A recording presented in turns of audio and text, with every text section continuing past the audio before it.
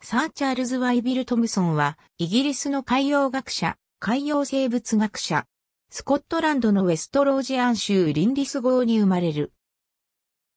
エディンバラ大学で医学、博物学を学ぶ。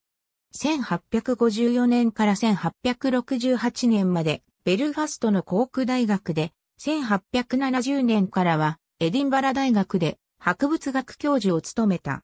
海洋生物、特に極秘動物を研究した。1872年にチャレンジャー号の世界一周探検に科学部長として乗船し、大量の海洋学的標本、観測結果を本国に持ち帰った。探検後その功績を称えられ、王立協会会員に選ばれ、1876年にナイトの称号を与えられた。1882年、チャレンジャー探検の資料整理及び報告書の作成中に病に倒れる。この膨大なチャレンジャー報告の観光は、ジョン・マレーに引き継がれた。C.W. トムソンは、植物の学名で命名者を示す場合に、チャールズ・ワイビル・トムソンを示すのに使われる。